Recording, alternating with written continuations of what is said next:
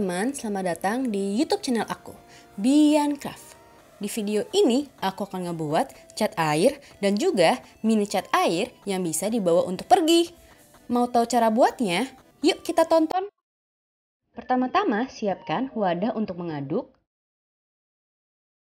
Masukkan 3 sendok makan soda kue.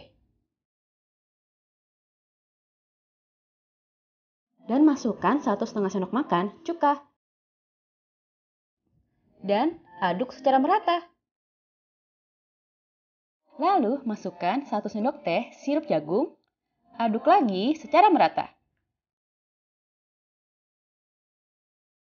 Lalu masukkan tepung maizena 1 sendok makan, aduk-aduk sampai merata.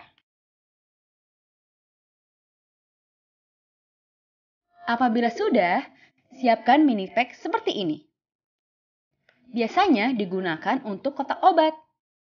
Masukkan satu persatu adonan tadi ke seluruhnya. Lalu, masukkan warna pewarna makanan yang mau kita pakai. Masukkan kira-kira 3 tetes, lalu aduk-aduk sampai merata. Kita lakukan yang sama ke seluruh warnanya ya.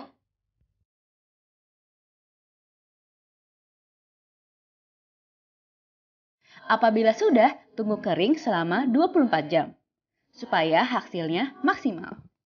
Nah, cat airnya sudah kering nih. Untuk bahan perlengkapannya, kamu bisa juga masukkan busa seperti ini ditempel dengan double tip.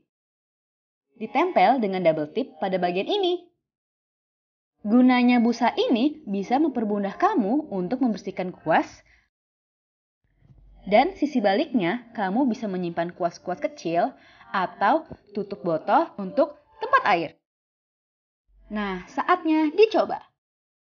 Hasil cat airnya bagus juga kan? Jangan lupa pakai kertas khusus untuk cat air ya, untuk hasil yang maksimal.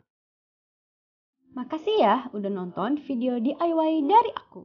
Jangan lupa like, subscribe, dan komen di YouTube channel aku. Bye!